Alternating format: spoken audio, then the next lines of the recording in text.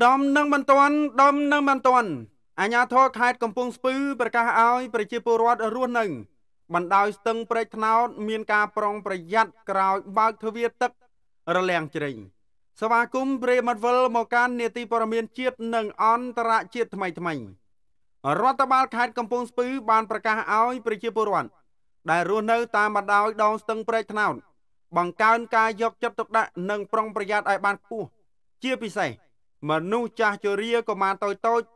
ត្រូវប្រញាប់រុះរាន់ទៅកាន់ទីទួលមានសវត្ថភាព បន្ទាប់ពីអាជ្ញាធរបើកទ្វារទឹកចំនួន5ដើម្បីរំដោះទឹកចេញ បាទអាទ្វារទឹករលាំងជ្រិញនេះបើតាមសេចក្តីប្រកាសរបស់រដ្ឋបាលខេត្តកំពង់ស្ពឺនៅព្រឹកថ្ងៃទី13ខែមករាឆ្នាំ2023បើតាមអាជ្ញាធរខេត្ត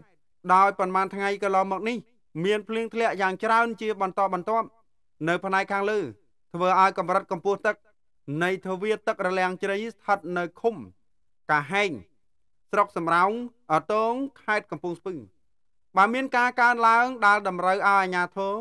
បើកទ្វារទឹកចំនួន5ជាបណ្ដោះអាសន្នដើម្បីរំដោះទឹកចេញដោយមើលឃើញពីស្ថានភាពបែបនេះរដ្ឋបាលខេត្តកំពង់ស្ពឺបានប្រកាសឲ្យប្រជាពលរដ្ឋជាពិសេសប្រជាពលរដ្ឋដែលរស់នៅតាមបណ្ដោយដងស្ទឹងព្រែកថ្នោត មេត្តាបង្កើនការយកចិត្តទុកដាក់និងប្រុងប្រយ័ត្នឲ្យបានខ្ពស់ដោយត្រូវរៀបចំ ទុកដាក់សម្ភារៈសំខាន់សំខាន់នៅទីទួលមានសវត្ថភាព ជាពិសេសមនុស្សចាស់ជរាកុមារតូចតូចទៅត្រូវប្រញាប់រុះរាន់ទៅកាន់ទីទួលមានសវត្ថភាពឲ្យបានមុនគេនិងជាពិសេសត្រូវប្រុងប្រយ័ត្នចំពោះខ្សែភ្លើងអគ្គិសនីអញ្ចឹងប្រិយមិត្តទាំងអស់គ្នាណាបាទទឹកចំនួនពេលនេះមានចំណុច វិជ្ជមាននិងអវិជ្ជមាននៅក្នុងខែ1ជារៀងរាល់ឆ្នាំគឺកម្ពុជាមិនដែលជួបគ្រោះទឹកចំនួនទេ បាទទឹកចំនួនទេក៏ប៉ុន្តែដោយឡែកនៅក្នុងឆ្នាំនេះភ្លៀងបាទណែភ្លៀងធ្លាក់ខ្លាំងអញ្ចឹងបណ្ដាលឲ្យមានទឹកចំនួននៅខេត្តកំពង់ស្ពឺនិងខេត្តកំពង់ឆ្នាំងអញ្ចឹងរដូវបន្តិចទៀតគឺដល់រដូវប្រាំងរដូវដែលខ្វះខាតទឹកដើម្បីធ្វើ